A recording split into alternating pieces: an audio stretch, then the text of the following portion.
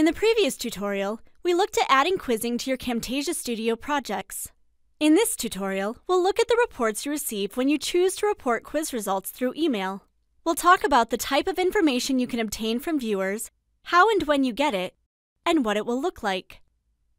Let's start by looking at the quiz settings you need to have in order to receive data from your viewers.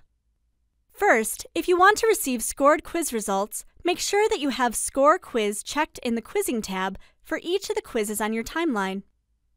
Second, when you produce your video, there are multiple production presets which support quizzing.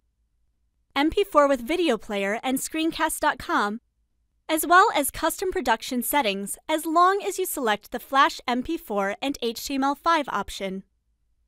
In the Quiz Reporting Options step in the Production Wizard, you have four options. You can choose to report quiz results through SCORM, report quiz results through email, or both.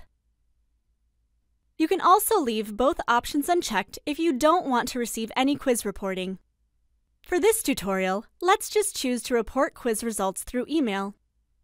When you choose this option, you can either require viewers to input their name and email address or allow them to take the quiz anonymously. The example we're going to look at includes the viewers' names and email addresses. Once your quiz is live on Screencast.com or your own hosting site, you're ready to start collecting data. Quiz reports are sent to the recipient email address once a day whenever there is new data to report. Keep in mind that if you need to change the recipient email address, you'll need to reproduce and reshare your video. Quiz report emails come from services at techsmith.com. The subject will always be your video title plus quiz report. You'll want to make sure that your spam filter doesn't think that the emails are junk mail. These emails provide a quiz summary, which includes the number of new responses since your last report, the average score, the low and high score, and the average percent of the video viewed.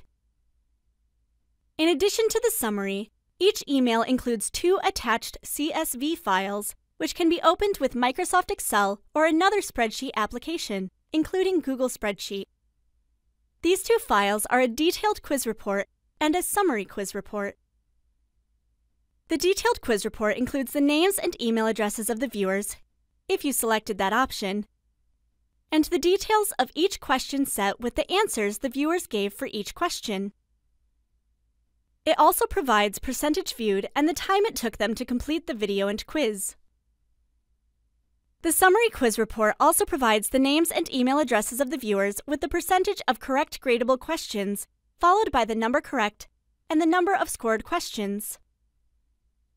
Short answer questions are not graded, but you receive the answers the viewers gave in the detailed quiz report. This quiz had a total of five questions. Four of the questions were gradable, and one was a short answer. Viewers will only receive a score for attempted questions.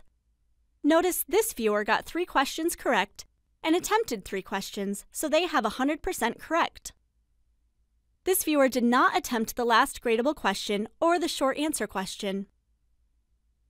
If there are short answer questions in the quiz and the user attempted to answer them, that number will show here in the Number of Unscored Questions column. Also included in the report are the time to complete, video name, and start and finish time.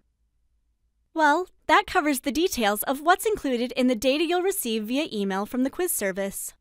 If you'd like to receive quiz results via SCORM as well, click here to watch that tutorial next. Also, click here if you'd like to give us feedback on this tutorial. Thanks for watching!